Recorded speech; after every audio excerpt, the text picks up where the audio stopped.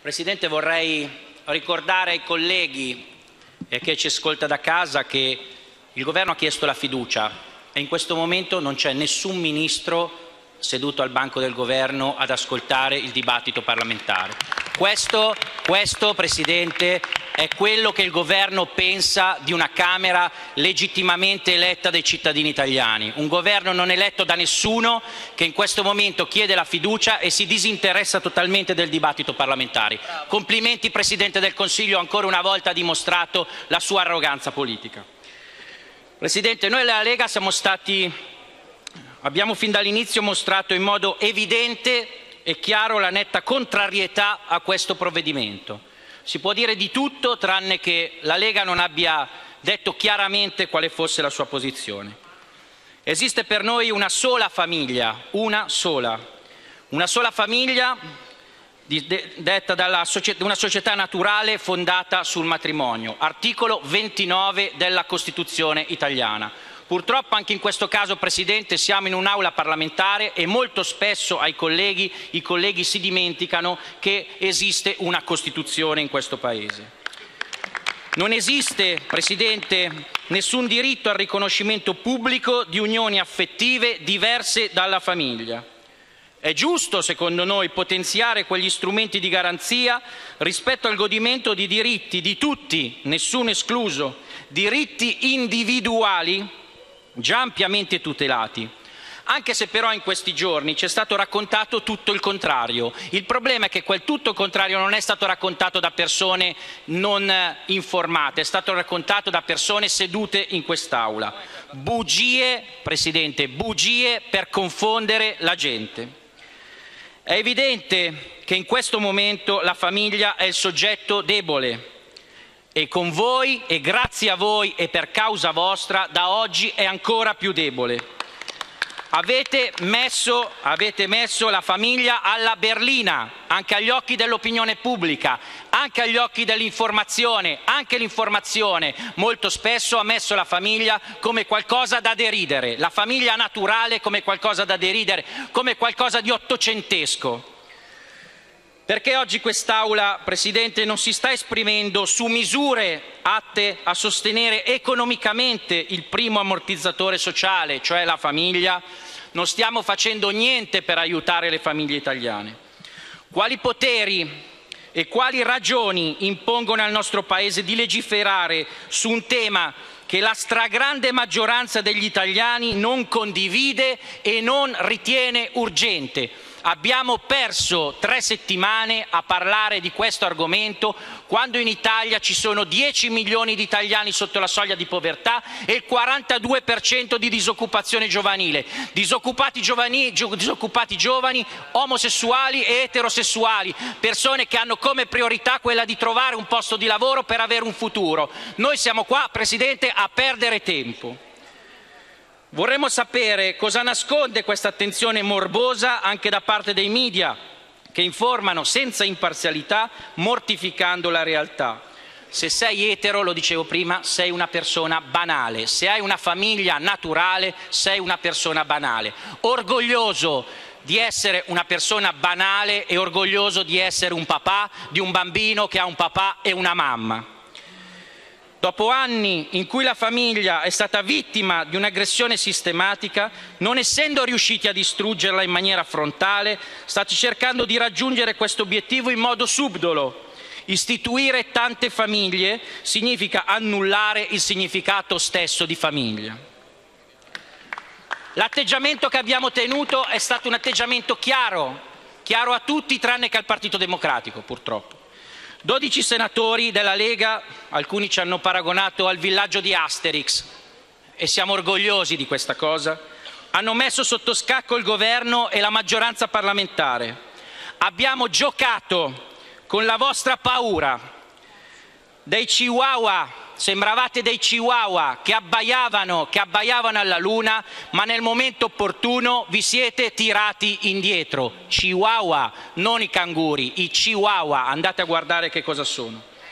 Abbiamo lavorato perché ciò accadesse con largo anticipo, prima di ogni scadenza, decidendo di presentare 5.000 emendamenti e di presentarli con un giorno di anticipo rispetto alla scadenza fissata ipotizzando, ma senza temere che la reazione, del, la reazione del Governo attraverso il solito prestanome della maggioranza parlamentare sarebbe stata quella di orchestrare un tranello per evitare i voti su una materia così delicata.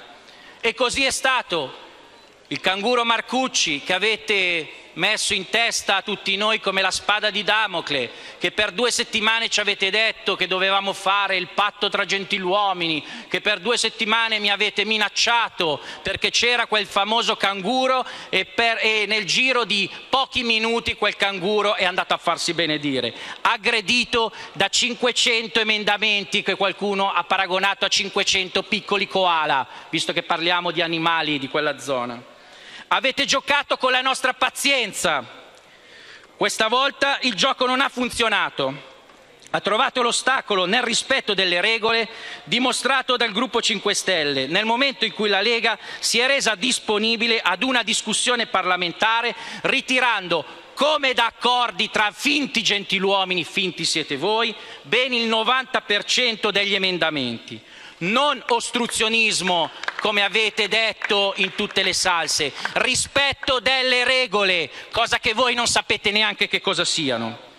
Abbiamo vinto una partita soli contro tutti per la nostra determinazione. Abbiamo costretto il governo con la fiducia a, a, a condizionare la volontà parlamentare, contraddicendo quando più volte ribadito che tali decisioni dovevano spettare esclusivamente al dibattito e alla coscienza personale dei singoli parlamentari. Io me lo ricordo i membri del governo fare i fenomeni dicendo eh, spetta al Parlamento, spetta al Parlamento e poi si sono trovati a dover fare i paladini senza macchie senza paura.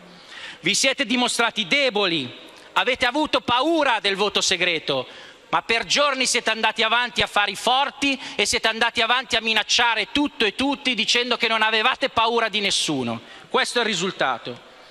Anche se il Presidente del Consiglio, fenomeno, fa i miracoli, potrà oggi raccontare di essere sopravvissuto alle sabbie mobili parlamentari, in realtà il cammino per l'approvazione definitiva di questo disegno di legge presenta ancora numerevoli, innumerevoli ostacoli, i nostri ostacoli né è la dimostrazione che oggi nessuno può dirsi vincitore, né le famiglie arcobaleno, sacrificate alla logica dei biechi interessi di governo, i vostri, né i fautori della via del compromesso, che per paura di tornare nel deserto della politica hanno rinunciato alla propria coscienza, ma né tantomeno alla democrazia.